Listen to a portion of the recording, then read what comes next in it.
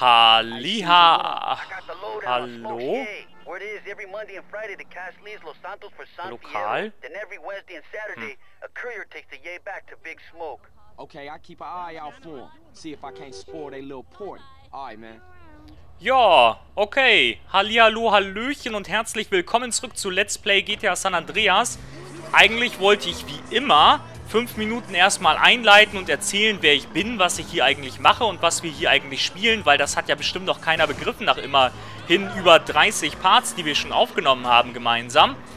Nö, aber irgendwie das Spiel meint, bei diesem Safe-Game direkt ein Telefonat stattfinden zu lassen, das ich nicht abbrechen kann. Also das kann ich schon abbrechen.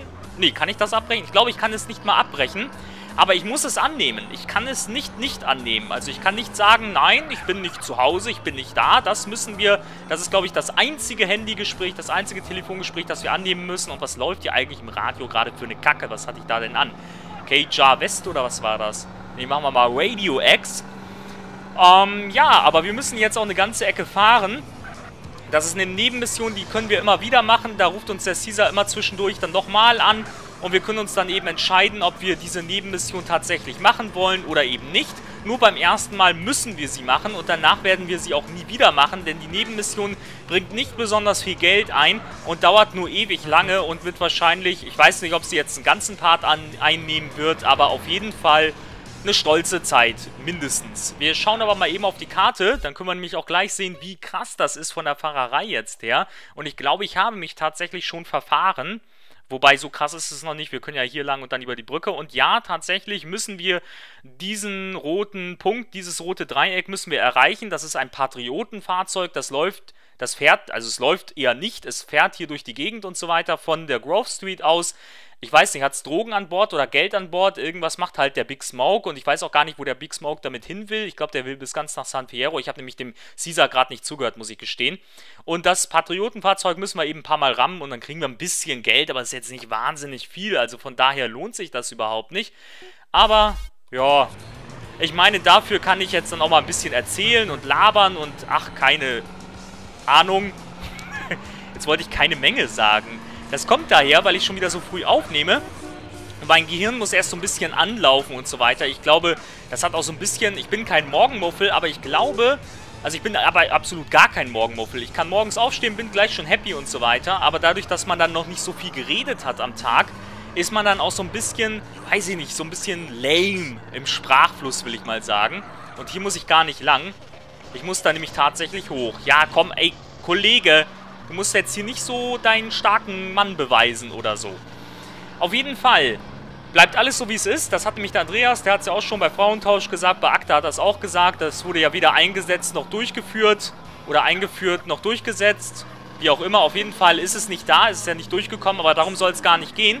Der Andreas hat nämlich auch stolzerweise beschlossen, dass alles so bleibt, wie es ist hier bei den GTA San Andreas Parts, denn ich hatte ja beim letzten Mal zur Diskussion, zur Umfrage gestellt, ob ich immer nur so 15 Minuten Parts aufnehme und dann halt immer nach 15 Minuten sage, ja okay, Kinders, Ende im Gelände, jetzt machen wir mal kurz einen Cut, das schauen wir uns hier beim nächsten Mal an, diese Mission machen wir beim nächsten Mal.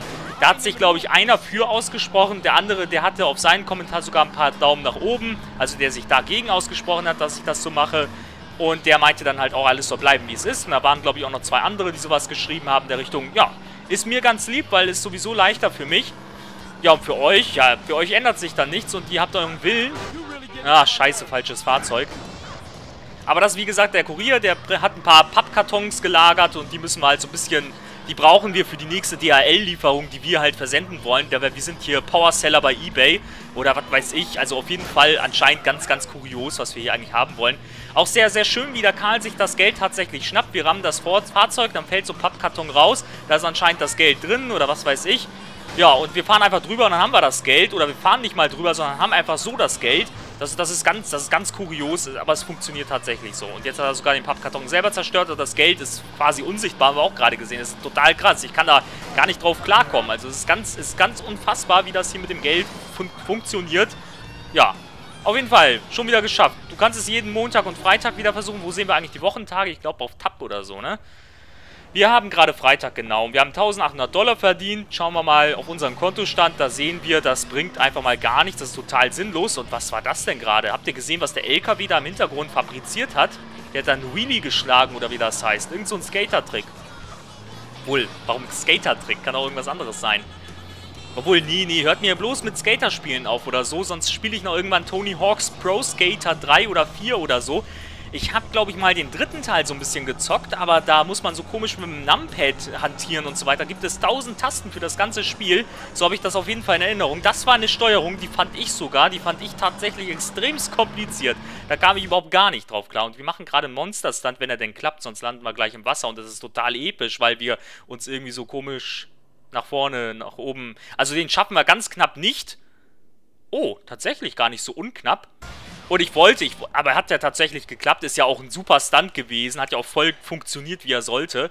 Wir können leider nicht die Leiter hier nach oben klettern, tut mir leid. Äh, da müssen wir wohl hier mit dem schönen, was ist das überhaupt? Ist das von der Polizei ein Dingens? Zeig mal an hier. Nee, doch, Küstenwache. Coast Guard heißt nämlich Küstenwache übersetzt. Also das habe ich mir jetzt ganz klar, klug hier ausgedacht und wie ging das jetzt hier? Warum, warum kann ich jetzt hier nicht... Achso, ich muss ja wieder F drücken. Bin wieder bei der, bei der Saints Row 3 Steuerung, obwohl ich Saints Row 3 gar nicht gespielt habe die letzten Tage. Und was euch vielleicht nicht auffallen wird, ist nämlich folgendes, dass ich ein neues Headset benutze weil ich habe mir ein neues bestellt, weil das alte, da gab es ja Aufnahmeprobleme und so weiter bei Super Mario World und ihr merkt davon einfach überhaupt gar nichts, weil es dasselbe in grün ist. Ich habe einfach dasselbe Headset nochmal gekauft, das heißt, es hat genau dieselbe Aufnahmequalität. Bloß was mich gewundert hat, ist so ein bisschen, da stand Made in China auf der Verpackung. Ich wüsste nicht, dass das beim ersten Mal auch drauf stand und irgendwie ist ein Knopf lose. Und was auch komisch ist, also was auch noch komisch, nee, das war glaube ich alles, was komisch war. Also auf jeden Fall ist es ein bisschen komisch. Und die Verpackung war typisch made in China, total kompliziert. Und wir haben hier so gerade so ein bisschen gewackelt mit der Kamera. Das ist so, so ein komischer Effekt oder so. Oder ist auch kein Effekt, das ist einfach nur dumm. Jo. Ach, ich wollte was über Astralreisen und so weiter erzählt haben. Ne? Hätte sich eben jetzt gerade super für angeboten, der Zeitpunkt. Habe ich leider nicht jetzt genutzt. Jetzt müssen wir so durch. Jetzt müssen wir auch erstmal zur Werkstatt zurück, zur CJ-Werkstatt hier in Doherty. Oder wie das heißt. Ich glaube, man spricht es ein bisschen anders aus. Nicht ganz so behindert, wie ich es gerade gemacht habe. Auf jeden Fall werden wir da ein bisschen uns die Werkstatt angucken und ich glaube, dann holen wir ein paar Lakaien für die Werkstatt. Da wird uns mit Truth behilflich sein, denn der hat da bestimmt wieder ein paar... Also ich glaube, der geht gleich wieder auch crazy ab oder so. Das habe ich auch irgendwie so in Erinnerung. Der wird ganz viele crazy Sachen sagen, da könnte ich dann ganz viel wieder zu erzählen. Werde ich dann aber nicht tun, weil ich wieder keine Zeit habe, weil so viel von den anderen gequatscht wird. Und da müssen wir schon zur nächsten Mission. Und hier gibt es ja non-stop Action. Also das ist ja ganz klar, das eben war ja auch total viel Action und so. Das war ja überhaupt nicht langweilig oder so. Zum Glück. Ne, weil, weil das, wenn das langweilig gewesen wäre, dann hätten ja jetzt alle schon abgeschaltet. Und deswegen bin ich froh, dass das eben überhaupt gar nicht langweilig war. Und hier sind so ein paar komische Gangmitglieder. Ja, ach meine Güte. Habe ich irgendwas anderes noch machen wollen? Nö, ich glaube nicht. Wir machen jetzt Zwischensequenz. Ich halte die Fresse. Wear flowers in your hair. Äh, trage Blumen in deinem Haar, dann wirst du glücklich. Oh, aha. Motherfucker! That mute asshole! That fucking snake without a tongue! Gave me this shithole instead of a pink slip, I must be the biggest fucking idiot in the whole fucking world. Das sowieso, Karl. Take it easy. At least we're alive. Carl, friend, fellow traveler, relax, man. You're really killing my fucking vibe here. Well, I'm sorry I'm fucking up your vibe, old man. but I can't wait to get my hands on that mute and your bitch-ass cousin. My cousin? You're gonna diss my familia? Ja, unbedingt sogar, Caesar. Da bin ich sogar mit dabei. Bad, man. I'm just pissed for all of us. I mean, look, we in a strange place. We got shit to our name, and for once, I try to make something work this garage, and it ain't even a garage. Then make it into a garage. Oh, that's a great idea, sis. Won't you shut up? You know what, Carl? You are a fucking idiot. Your whole life you wanted something for nothing. Now you've got something and you don't know what to do with it. We'll make it good enough. We'll help, right? We got your back, CJ. Come on, stop tripping, man. Both of you.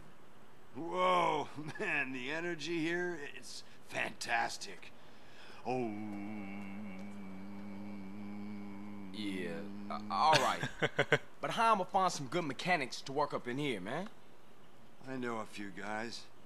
Come with me, friend. They're good people.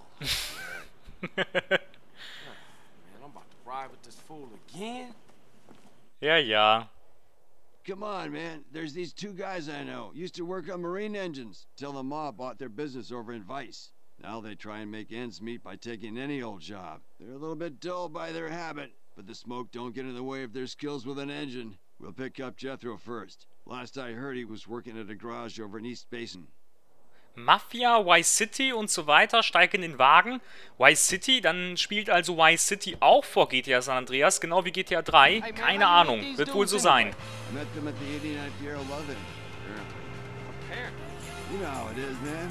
Field of tents, crazy ass music, a quart of mescaline vodka, polar bears. Polar bears. Yeah, go figure. They were funny guys, man. Great sense of humor. Auf jeden Fall. Eisbären kenne ich nur von der Lost-Insel. Und ich kann schon wieder nichts erzählen. Macht aber nichts.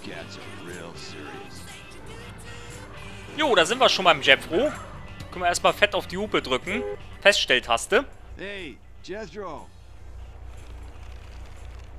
Hop in, man. I've landed you a real job. Hey there, Truth Dude. Oh, man. Do, do I owe you? Because I swear I paid for that weed, dude. No, man, we're good. I think. Jethro, Carl. Carl, Jethro. What's up, man? Can we swing by the hospital? It's over in Santa Flora District, west of here. Yeah. You sick? No, the government is. But that's a long story. So, you know, like, what's the deal, dudes? I'm opening the garage in Doherty by the waste ground. You know, car mods, low riders, all that shit. Damn? Polar bear shit in the woods. No, but they've been known to shit in the liquor tent, if I remember it right. Yeah, that was like so far gone. Aha. Ich weiß nur, dass der Papst gerne in den Wald scheißt. Das habe ich auch schon gehört. Ach, jetzt erzählen sie wieder nichts. Jetzt bin ich aber nicht vorbereitet, dass ich was erzählen darf. Das mit, mit Truth, der erzählt mal so viel, der kriegt die Klappe gar nicht zu. Und dann kann ich nie was erzählen. Habe ich nur zwei Sekunden Zeit, habt ihr ja eben gemerkt. Und dann sollst du in zwei Sekunden irgendwie einen Satz fabrizieren, der einigermaßen lustig ist, damit der Kommentar existent ist. Also das ist doch, das ist doch, das sind doch, da, unter solchen Voraussetzungen kann ich überhaupt gar nicht arbeiten. Das muss ich mal ganz klar hier sagen. Und ich fahre gerade brandgefährlich, denn ich glaube, wenn wir den Wagen verlieren, verlieren wir bestimmt auch die Mission. Aber ich meine, ey, wir haben ja eine Werkstatt, da können wir wahrscheinlich kostenlos alles reparieren lassen. So, jetzt erstmal beim Krankenhaus gucken, was jetzt hier passiert. Aha. Cover your faces. Think about a yellow rubber duck. You tripping again. Gelbe Gummiente. Ja, wir sind auch voll unauffällig für Okay. Truth. I've seen enough. Let's go see if we can find Dwayne. He's working a hot dog van at the tram terminal in Kings. Come on, dude. Okay. What's all that about? You don't want to know. Why? Do you know what a subdermal neurophone is? A what? Exactly. Sometimes it's best to stay in the dark, kid. Subkutan, Sub heißt unter. Kutan weiß ich nicht. Neurophon, Neurologe macht irgendwas mit dem Gehirn, also Gehirn. Phon ist ein Ton, Gehirnton. Irgendwas mit Untergehirnton. Ja, ergibt total viel Sinn. Feststellt, dass, äh, dass, dass, Dude, äh, kann ich gar nicht mehr richtig reden. Schlimm sowas. It's totally shit. Why? What's happening? Oh, my friend Carl here is opening a chop shop. Jethro's in. How about you? Uh, yeah, cool, man. Uh, I've got like some shit to take care of first, though. So, uh, you tell me where you guys are gonna be at, and I'll meet you dudes there. The garage is on the waste grounds in Doherty. I'll see y'all later. Jo, bis denn. Fährt da einfach die Lat... Was Okay, soll das next denn? stop, cop station downtown. Was? Watch your mind. Why? If I told you, the likelihood is you'd get a probe up your ass within a month. Ah, ja. Listen to the man, dude. He's real serious about that shit. Well, okay. But you're starting to freak me out with all that space shit, man. Mhm. Fahren wir mal zum Bullenrevier. Wird bestimmt nicht gefährlich sein oder so. Da sind bestimmt keine Bullen. Vor allem die nicht. Also jetzt keine... Also Stiere müssen wir da jetzt nicht erwarten. Ich glaube, Stiere sind Bullen, oder? Also Bullen sind Bullen. Was haben Bullen und Stiere gemeinsam? Haben die überhaupt was gemeinsam? Das sind verschiedene Tierarten. Ich habe wieder keine Ahnung. Das ist so schlau wie meine Frage, ob Krebse Krebs kriegen können. Denn natürlich können Krebse Krebs kriegen. Genauso wie auch Fische wahrscheinlich Krebs kriegen können. Weil Fischkrebs ist ja sehr weit, weit verbreitet. Das weiß man ja. Deswegen habe ich auch explizit gefragt, ob es Krebskrebs gibt. Ja, aber anscheinend schon. Hat mir irgendwer nämlich da gezwitschert gehabt. Okay, you know the drill. Don't look interested in anything. Ja, woran soll man denn... Rosa, was? Okay, we're good to go. Rosa Where Golfball? next, Spacehead? There's an electronics Was? guy I've had dealings with. Goes by the name of Zero. He could fix a supercomputer with a paperclip. He's got his own shop, but he's always ready to help fellow travelers along the path. Let's go introduce you to him. Look, what's going on, True? Look, what's going on, True? Who Ja, genau, with? wiederhol dich mal. Go there. Ugh. Listen to Jethro. Now, what if I told you we never went to the moon? Was? JFK lives in Scotland with Janis Joplin. Was? The only reason we've been in a Cold War for the last 45 years was because snake-headed aliens run the Was? oil business. I think you popped another micro dot. Good. Keep it that way. Gut, mit den Schlangenköpfen, die Amis und so weiter, doch. Weil Schlangen sind ja verräterische, hinterhältige und ich bin ja Anti-Amerikanist, also das kommt durchaus hin. Und wir waren ja auch nie auf dem Mond. Die Mondlüge, die wurde ja gefälscht in der Wüste von Las Vegas neben Area 51. Das weiß ich auch. Das habe ich nämlich mal auf so einer, auf so einer seriösen äh, Webseite gelesen, die war in dunklen Schwarz getüncht und so weiter. Und da stand dann auch noch ein Link zu Traumdeutung und Co. Und da stand auch noch ein Link, ich glaube, der war, der war, wozu war der eigentlich? Ja genau, zum 11. September und der Lüge davon. Und, und da waren noch ganz viele andere, ganz wahre Theorien standen da. Bin ich mir sehr sicher. Was, was machst du hier eigentlich, Junge? Mit deinem, mit deinem komischen Goblin-Dingsbums-Hubschrauber? Was soll das?